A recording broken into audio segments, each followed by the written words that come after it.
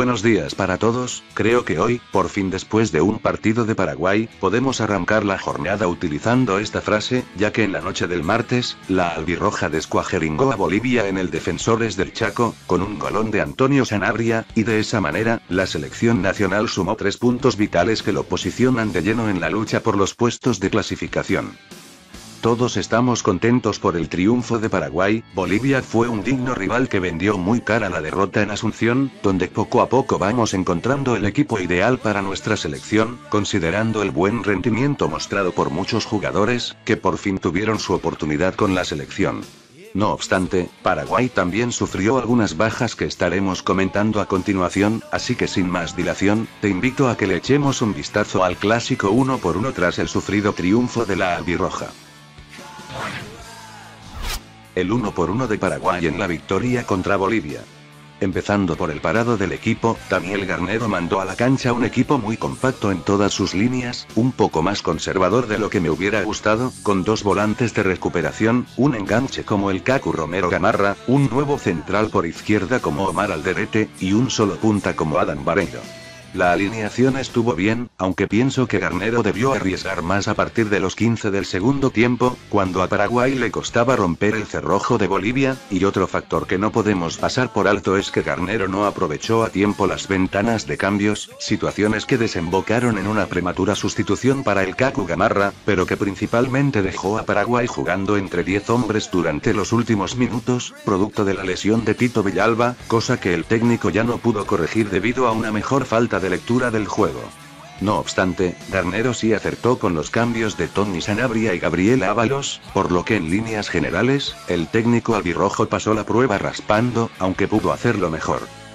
Ahora sí, empezando por la portería, podríamos decir que Carlos Coronel tuvo un partido correcto, sin embargo, el golero albirrojo necesita levantar la voz para comunicarse mejor con sus centrales en ciertas situaciones de partido, como por ejemplo, en la única jugada peligrosa de Bolivia con un centro por izquierda que pasó picando por el área de Paraguay, se vio como Coronel y sus defensas no coordinaron a tiempo, y es algo que el arquero paraguayo debe corregir, esperemos que lo haga para los próximos partidos.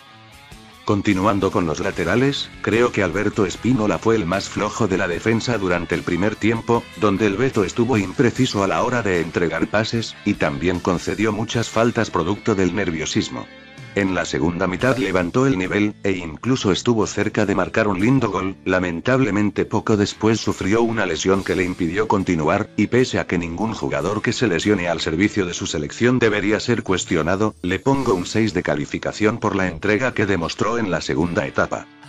Matías Espinoza por su parte redondeó un más que correcto partido en su segundo compromiso oficial con la selección, donde el lateral de Libertad pudo demostrar todas las virtudes que le conocemos, como la buena proyección en ofensiva, y los buenos centros al área rival. De hecho fue el encargado de repartir la asistencia para el gol de Paraguay, y cada vez que trepaba por izquierda, daba la impresión de que el equipo podía generar situaciones de peligro. Bien por Matías Espinoza, creo que hizo méritos para quedarse con el puesto de ahora en adelante.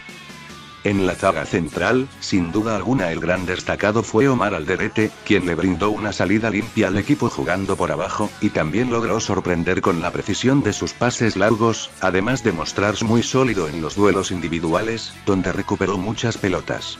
Es cierto que Alderete, al igual que Gustavo Gómez, no fueron tan exigidos por Marcelo Moreno Martins, quien básicamente le facilitó la tarea a los centrales con su falta de movilidad, pero a diferencia de Gustavo Gómez, quien todavía necesita más partidos como este para volver a recuperar la confianza de la gente, Alderete destacó más por su salida con balón dominado, una cualidad que Paraguay no tenía con otros jugadores, y que a partir de ahora podría dar buenos resultados si los centrales mantienen la regularidad. En la parte del medio campo, Álvaro Campuzano volvió a jugar un buen partido teniendo la tarea de reemplazar a Andrés Cubas, el jugador de Libertad marcó presencia en el centro del campo con su portento físico, demostrando personalidad y criterio para marcar.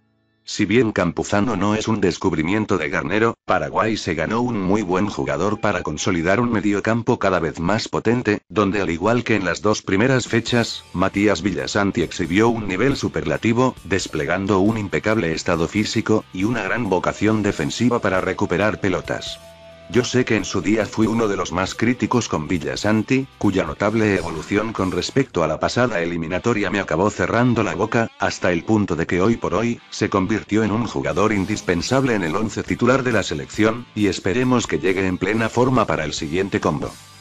Continuando con los delanteros, empiezo por Ramón Sosa, el jugador más desequilibrante de Paraguay durante el primer tiempo. Lo que juega Sosa es una locura, pareciera que tiene una lombriz eléctrica metida por el traste, sus cambios de ritmo y desparpajo para encarar son condimentos explosivos que la selección no tenía en el pasado, incluso pudo haber marcado un gol, que el buen portero boliviano Vizcarra lo tapó con mucho mérito, pero cuando mejor estaba jugando Sosa, lamentablemente el extremo de Talleres sufrió una falta que lo dejó fuera del partido, que debió ser un penalazo para Paraguay, pero que el árbitro hijo de su madre no lo quiso cobrar, siendo que en las imágenes se ve claramente cómo Diego Medina le descuajeringa el tobillo.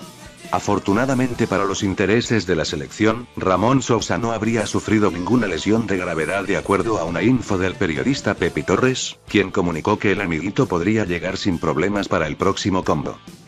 Continuando con Miguel Almirón, honor a quien honor merece, esta vez hay que decir que Almirón hizo un gran partido, especialmente en la segunda etapa con la lesión de Ramón Sosa, donde Almirón se hizo cargo de la situación, y desequilibró a la defensa rival filtrando buenos pases en profundidad, encarando y sacándose hombres de encima, y demostrando mucho criterio al manejar la pelota. Almirón incluso marcó un golazo que de buenas a primeras no me pareció que debiera ser anulado, luego pudo haber marcado otro gol en el segundo tiempo tras una buena jugada individual, redondeando un gran partido en líneas generales. Almirón necesitaba un partido como este para ganar confianza, y ahora que el equipo se sacó un gran peso de encima con la victoria, esperemos que pueda jugar los siguientes partidos demostrando el mismo aplomo y soltura, ya que sabemos que calidad le sobra, siempre y cuando no se le enfríe el pechito.